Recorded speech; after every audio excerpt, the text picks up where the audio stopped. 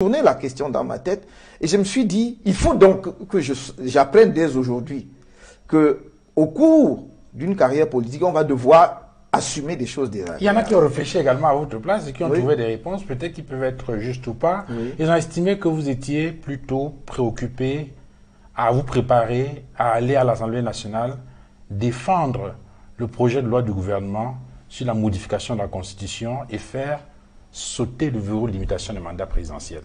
Non, Belle analyse ou bien euh, conjecture? Non, c'est vraiment euh, plus que des conjectures, c'est un fantasme. Parce que tout le monde est parti de l'idée que juriste, publiciste, constitutionnaliste de surcroît, effectivement, la logique aurait voulu que l'on me consultât avant euh, de, mettre au point justement cet avant-projet de loi, ne serait-ce que pour me demander si cela était en conformité avec la Constitution ou d'autres dispositions de la Constitution.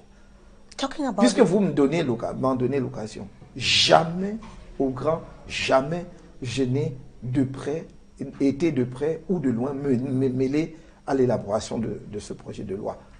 Encore moins aller euh, le défendre à l'Assemblée nationale. C'est ridicule puisque ceux qui l'ont défendu sont connus.